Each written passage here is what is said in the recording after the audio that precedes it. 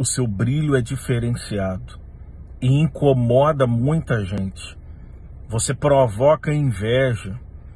Tem gente que gostaria de ter a vida que você tem, ou melhor, gostaria de ser quem você é. Tem gente que quer a sua vaga no seu trabalho, quer ter a sua posição, quer estudar onde você estuda, quer ter a família que você construiu com a ajuda de Deus.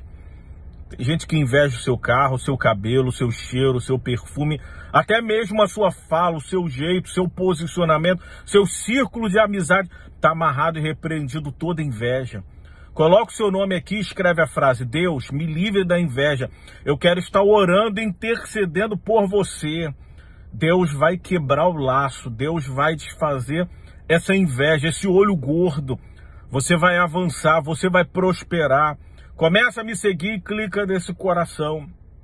Já observou que de vez em quando seu cabelo começa a cair, você sente dores no corpo, arrepios constantemente, sabe? Uma opressão, insônia, não consegue dormir, gente que fala mal de você pelas suas costas.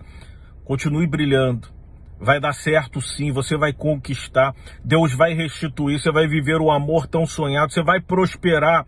Pela fé vai acontecer. Você crê? Compartilhe e já salva esse vídeo.